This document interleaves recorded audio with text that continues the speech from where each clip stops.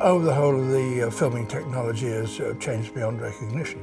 Um, in, in those days, um, um, we used film uh, and television mostly used 35 millimeter film, which is a very big uh, uh, gauge and which is used for cinemas.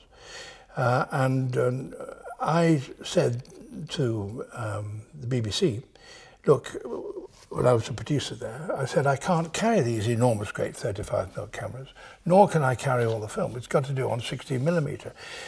And the BBC said, uh, you can't use that, that's amateur stuff and it'll be fussy and out of focus and so on.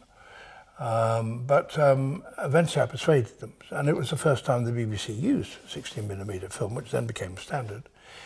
Um, and uh, uh, but the problem, there were problems about the um, sensitivity of the film, and in effect, we couldn't actually film in the rainforest when we got there. We discovered it was simply too dark.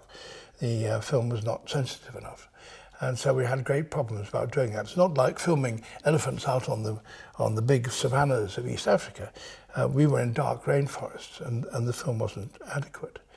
Um, but um, the um, pattern of the program was that we would take film sequence and then of, of Jack Lester catching an animal um, and then uh, for the close-ups of the animal, which we couldn't get in the forest because it was too dark, we would bring them back to the studio and show them live in the studio. And that's what the program consisted of. A sequence of showing one of us, Jack to start with, catching something. Then we went live to a studio and then uh, Jack explained what the animal was and showed it and then introduced the next one and we go back into a sequence, film sequence. And that's how it was structured the program.